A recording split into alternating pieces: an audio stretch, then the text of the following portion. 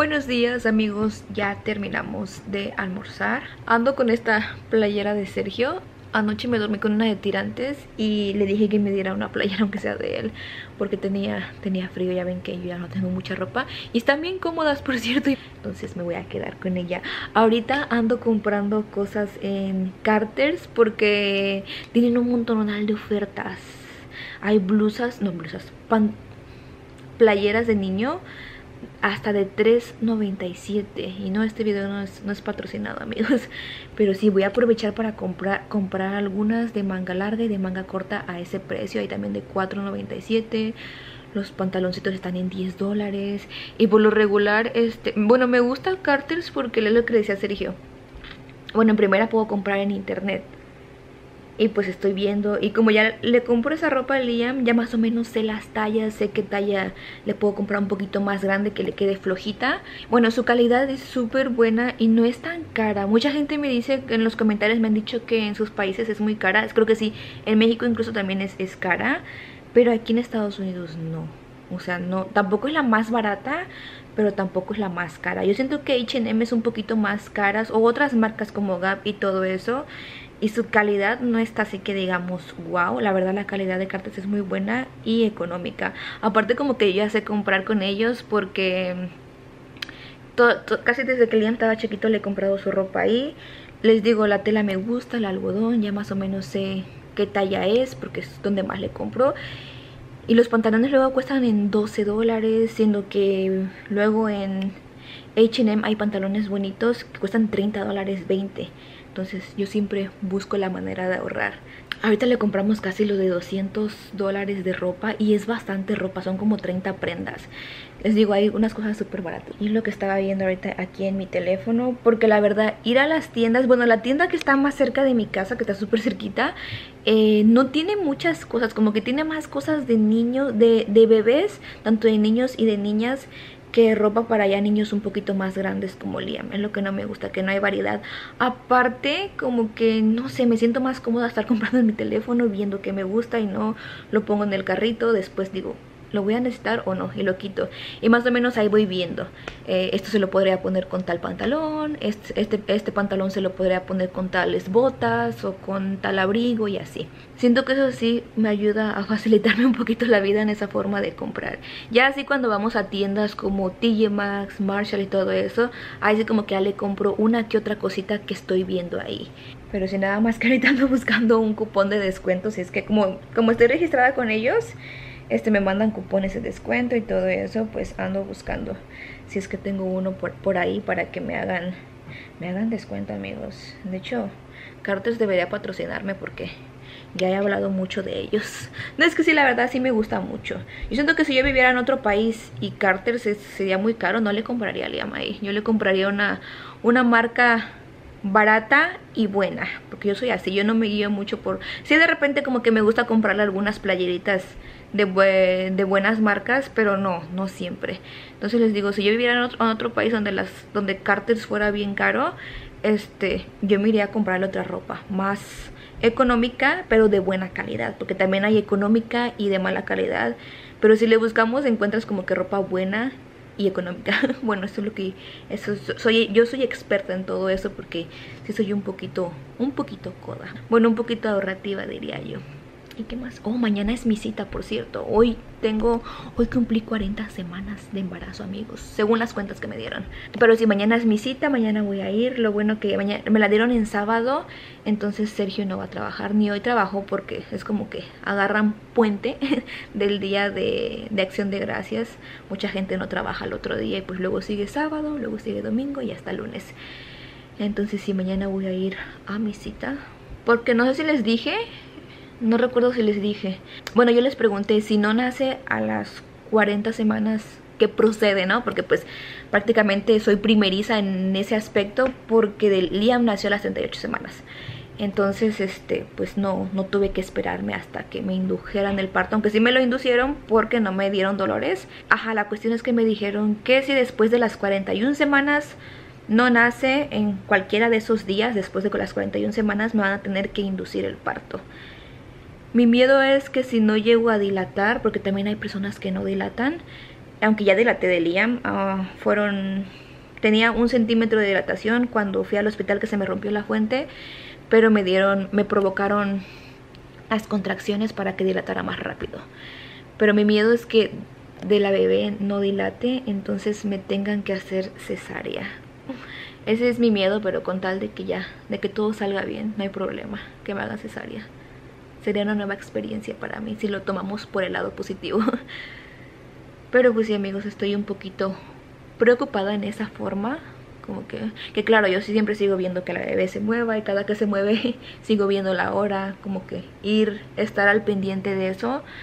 Pero sí, también una de ustedes me dejó un comentario que decía que ya tenía cinco, algo así como que había ido al hospital y ya tenía, la revisaron y ya tenía 5 centímetros de dilatación y ella no sentía dolores. Ese es mi miedo, eh, dilatar y que no tenga dolores.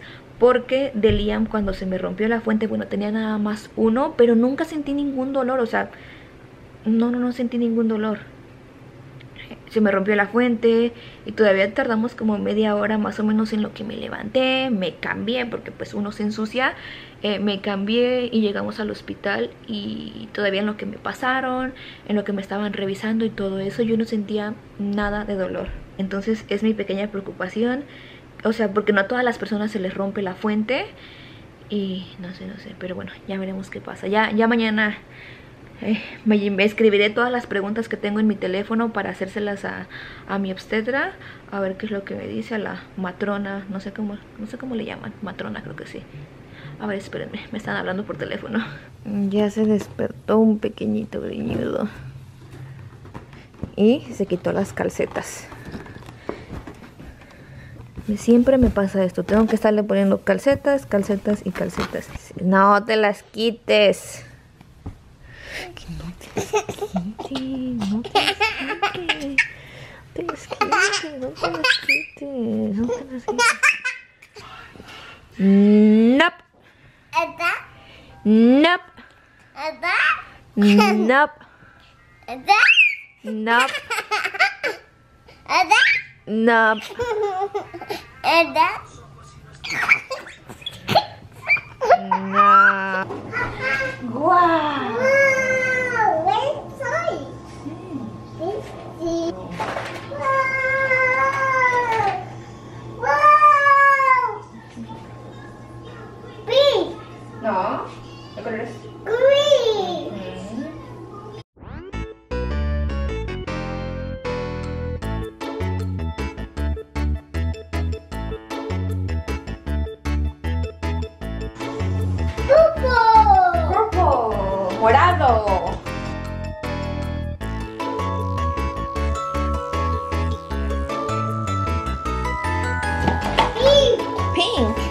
Rosita.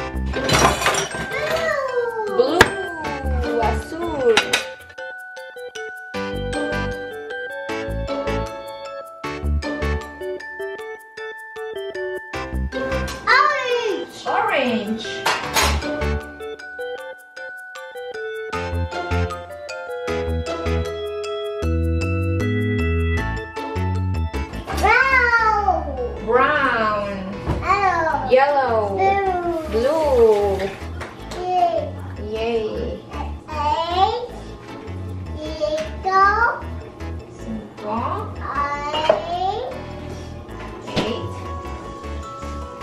cinco, eight, cinco.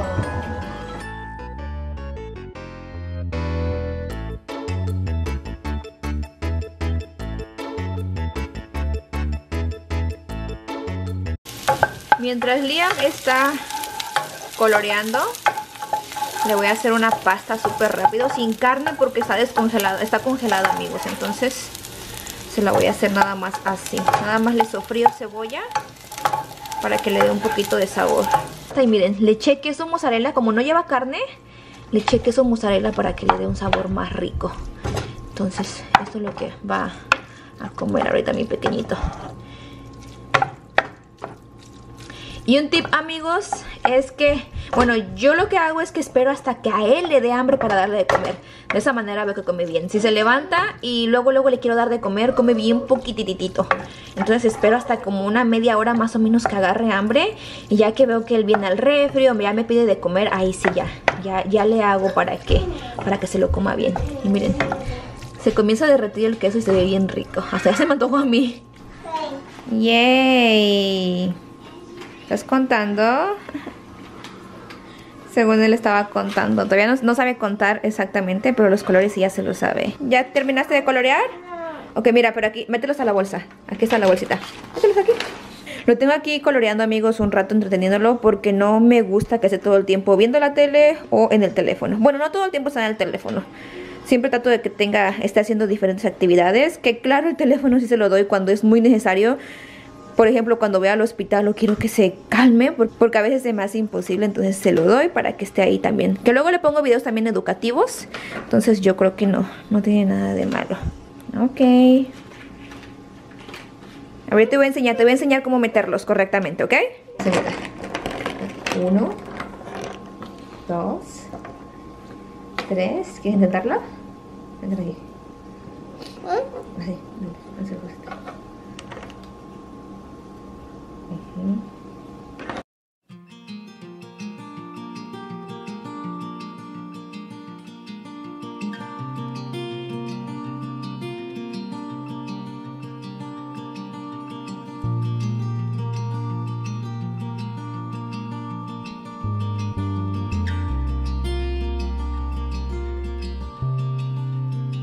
¡Yay! Five. Ok. Vamos a guardarlos. Ahora vamos a guardarlos, ¿ok? Ok.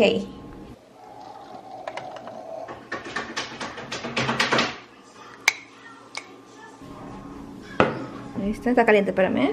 echamos más queso? Ok. Ok. Échale más quesito. Mmm, yummy. ¿Qué se lo pongo?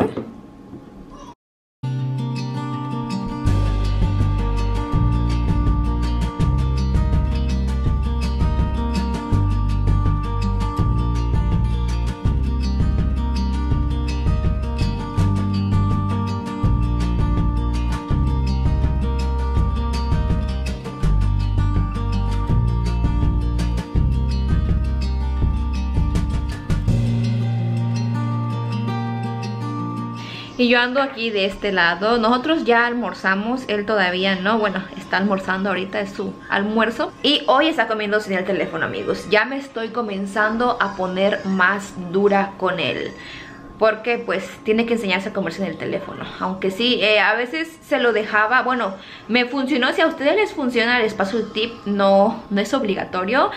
Pero hay días que no me quiere comer amigos. Y es una frustración, una preocupación para nosotros las mamás cuando nuestros hijos no comen. Pero hay una etapa que ellos pasan así Que como que no comen mucho Hay otra etapa donde comen hasta por los codos Que a veces yo digo Liam, ya papi, ya no te quiero dar tanto porque te vayas a vomitar De que me pide como que le sirva hasta tres veces Y pues a veces sí me da miedo Digo, se vaya a vomitar o así Pero pues son etapas entonces ahorita estoy tratando de quitarle más el teléfono. El teléfono casi no lo usa. Es gracioso porque algunos de ustedes me dicen No, Oli, tu hijo utiliza mucho el teléfono Y en realidad no lo ven. Si lo utiliza tampoco les voy a decir No, mi hijo no utiliza, el teléfono Sí lo utilizo, por ejemplo Cuando voy a mis citas en el hospital O cuando vaya a citas de él Le doy el teléfono cuando ya veo que se desesperó. Con eso lo calmo. Tal vez no está bien. Yo no digo que sea la mamá perfecta, ni digo que el teléfono les haga bien o les haga mal, pero pues eso me ayuda y lo hago. Él no tiene el teléfono las 24 horas. Yo juego con él, le pongo actividades. No todo el tiempo les grabo las actividades que, hace Solamente cuando me acuerdo O digo, oh, ando haciendo vlog, les voy a mostrar esto Lo pongo a colorear eh, me pongo a enseñarle los colores. Eh, ahorita quiero que se los aprendan en español, se los sabe bien en inglés, quiero que se los aprendan en español, es mi próxima meta. Y así, varias actividades. Pero ahorita sí, para comer le estoy quitando el teléfono. Eso me funcionó hace tiempo para que comenzara a comer un poquito más. Después de que le quité el pecho, me funcionó perfecto. Le, le da, ponía el teléfono, le ponía caricaturas, él se entretenía mientras, bueno, come y, ve. Porque si ahorita ya se paró dos veces a ir por unos juguetes, entonces se entretiene el ir y venir para allá. Pero pues bueno, quiero quitarle esa manita de que coma comas en el teléfono, aunque sí, tal vez en próximos videos vean que está comiendo con el teléfono y van a decir, Mariana, bueno, no habías dicho que esto es un proceso. Entonces sí, amigos, porque yo, yo estoy consciente que el teléfono no les hace bien, que claro, yo le pongo videos educativos, pero por más, a él luego le aparecen otros videos graciosos y se pone a verlos y es normal también, es como uno, tú en la tele no ves puras cosas mm, educativas o cosas buenas, uno como que a veces se quiere entretener, pues así ellos.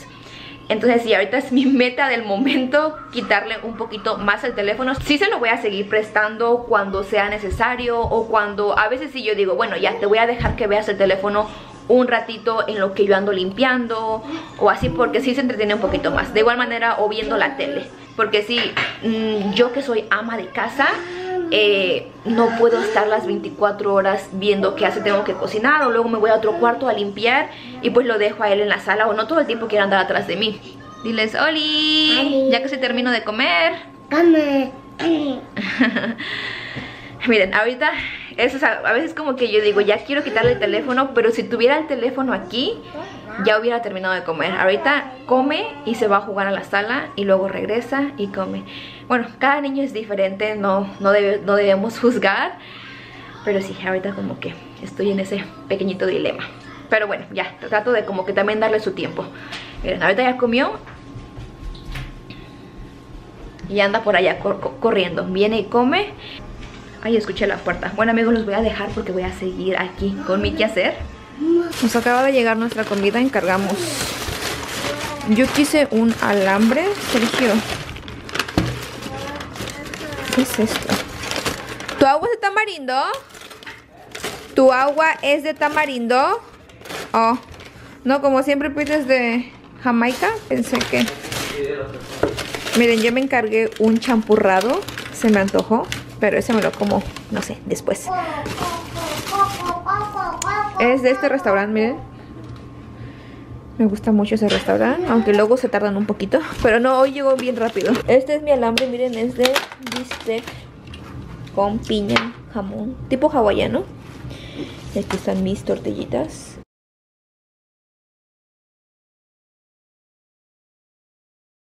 Miren lo que voy a cenar. Hace rato mi amiga me convidó de su recalentado. Es, ay, es mm, mole verde o pipián, no recuerdo bien, no, no recuerdo cuál, cuál sea la diferencia entre los dos. Tamalito y ese tamal no sé de qué sea, ni sea de carne o para comer con este. Pero de todos modos me calenté mis tortillas. A mí no me pueden faltar las tortillas. Acabo de salir de bañarme, mi cabello aún está mojadito. Voy a esperar a que se me seque mientras voy a cenarme esto. Así que bueno amigos, hasta aquí los voy a dejar con este vlog. Hoy prácticamente no hicimos ni siquiera salir de mi casa. Mañana tengo cita, por cierto. Pero hoy ni siquiera salí de mi casa. Nada más me la pasé aquí, aparte de que hacía frío. Nada más anduve limpiando, doblando ropa. De hecho, miren, ahí tengo un poco de ropa que estaba yo, este, que la voy a acomodar en mi closet, pero mi closet tengo que limpiarlo porque, no limpiarlo, acomodarlo porque tengo un reguero de ropa amigos que no, ni para qué les cuento ni les muestro porque está todo por aquí, es viernes en la noche, he andado un poco floja y no les he editado el vlog, no he terminado de editar el vlog de Thanksgiving, así que yo creo que haré eso o si no mañana, es que como que tengo un poquito de flojera, quiero comer, que se me baje un ratito, a ver si le avanzo un poquito y ya para publicarlo mañana. Ya veré. Así que bueno amigos, espero que hayan tenido un día súper bonito. Nos vemos para la próxima, ¿ok? Bye.